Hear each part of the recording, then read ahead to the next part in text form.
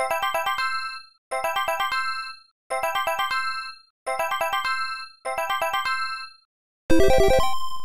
Hey, what's up, everybody? It's your boy David, and I'm coming at you with another episode of the Free Play Mode presents the Quick Hit. And today is November 7th, 2015, and I'm joined by co founder of the New Gaming Order, Nelson Rios. What's going down, Nelson? Nothing, man. Just enjoying my Saturday morning, trying to see what's going down. And again, as always, thank you for having me on Free Play Mode. No doubt, man. So, what we're going to get into today is, uh, the PlayStation Nintendo CD prototype was confirmed today by Engadget to actually be the real deal. They actually turned it on, booted it up, played a game. It was there are no CD games in existence for the thing, but they did play a Super Famicom game on it. They went into the BIOS, they opened it up and confirmed that it was in fact the real deal. So, what do you think about this? Like is it a significant thing in gaming history that this actually exists e- outside of pictures like that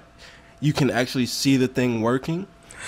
I mean, I believe it is actually something to make a big deal out of because people would have never thought, even from now going backwards, that you know, Nintendo and Sony were actually coexisting to make a dual bootable console that played Super Famicom games, or as you guys know, as Super Nintendo cartridges and original PlayStation CDs. So this was actually a big innovative uh, thing. It was a pretty big deal back then, actually. Yeah, and and to tell you how close this thing was to actual release, they showed the version number of the BIOS and it was 0.95, which means it was super, super close to actually being released to the market. And then Nintendo had to go do some dumb shit and do their behind the scenes deal with Philips and have games made. They kind of hedged their bet, so to speak, and signed a deal with Philips to have Philips do games that were published by Nintendo but made by Philips. So, how badly do you think Nintendo is kicking themselves having, like, seen this thing out in the wild? Because before today, it was thought to be like some myth or like some long dead and buried thing, but this has been rehashed and it's kicking Nintendo in the face over and over again.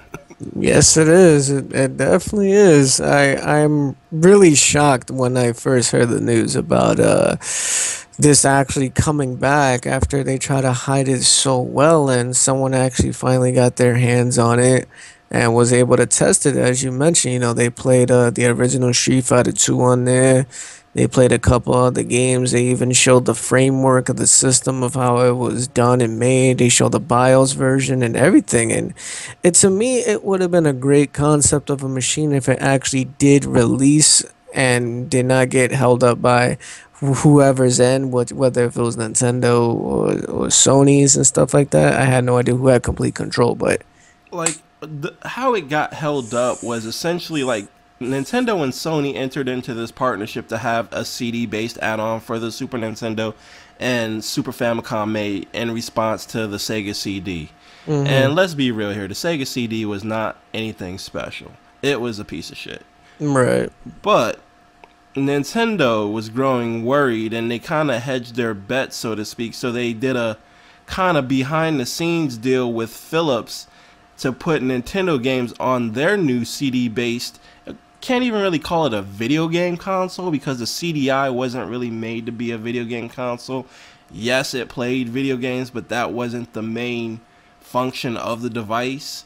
And Sony got wind of this and they scrapped the entire project. And but the thing is, Sony owned all the rights to the technology that it created. So instead of it be being a CD based add-on for a console, Sony like the thing was very close to actual release, so Sony just went back did a did a couple of uh, more years of R and D with 3D technology, better sound, and boom, Nintendo ended up creating one of its biggest rivals, which may up and ending up putting them out of the console market and the Sony PlayStation. Yep, that is very true. But again, it's a very interesting thing to actually see this console come out from the woodworks like this. Like someone actually stumbled upon this from God knows where, and it ended up in someone's fucking uh, studio or company, and they played the shit out of that motherfucker. I tell Yo, you. man, I was I was like, man, I had to watch the video multiple times because like I got I got all tingly. I got excited for it. I was like, because I remember reading about this back in the day in EGM. Because I was I was a fan of both the Sega Genesis and the Super Nintendo, and I had a Sega CD, and I was very unimpressed by it. And I saw this like announced in EGM back in the day, and I got excited for it. And then nothing came of it and it kind of pissed me off a little bit. But then the PlayStation came out, but I at that time I already had a Sega Saturn. But man, what what do you think would have happened had Nintendo not done what it did and maintained the partnership with Sony? Wow. I, hmm, that could have had been led to a lot of possibilities, especially like we're in 2015 now. This product was made around like, let's say 1990, 1991. Yeah, So it, it, it could have definitely turned heads where, you know, shit, PlayStation and Nintendo working together as one entity, motherfuckers, they would have took over more or less, created the revolution of the the new wave of gaming. But uh, again, we will never know. I mean, Nintendo kind of took a big hit, and as you mentioned earlier, they must be kicking themselves right in the fucking ass for making this decision. I mean, just the just the sheer possibilities because I don't think that Sega would have held us on as long as they did had Sony maintained its partnership with Nintendo. Because let let's be real here, Sega was like pretty on. Uh, they were on wobbly legs by the time the Sega Saturn came out, and then they were on the deathbed when the Sega Dreamcast came out. I don't even think they would have made it to the Sega Dreamcast had Nintendo and Sony remained partners. In all seriousness, Mm-hmm. and I don't think there would have been a Microsoft console. And I, I just think that we would have had the the Sega and Nintendo, the Sega Sony, hi, ah, the Nintendo Sony hybrid console slash partnership going forward, and they would have continued to make consoles together going forward. That is true. But man, man, just just the sheer possibilities of what a potential partnership for Nintendo and Sony, what could have been. It's just it's just mind blowing. It's just mind blowing. Definitely is, man. I mean, again, this could have made, excuse me, actual history, but I guess Nintendo back then, whoever the hell was in charge, just thought that it wasn't a wise enough decision for them to go through with this business deal or the Nintendo PlayStation prototype that apparently was about to become a real thing.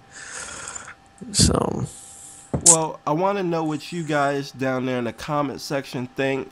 What do you think would have become of Nintendo and Sony had they remained partners? And if you're looking for the the video to the Engadget unveiling of this thing, it's in the description below. I want to thank Nelson Rios for popping up on the quick hit.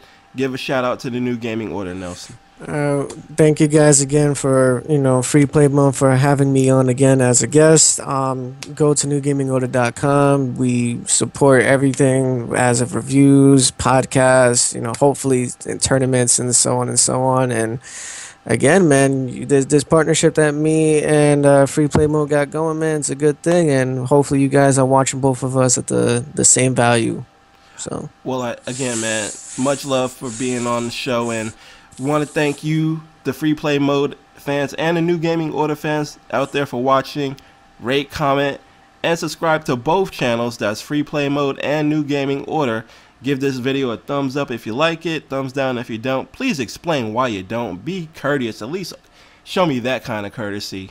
And I want to hope all of you out there have a good morning on this November 7th, 2015. And as always, peace. We're out.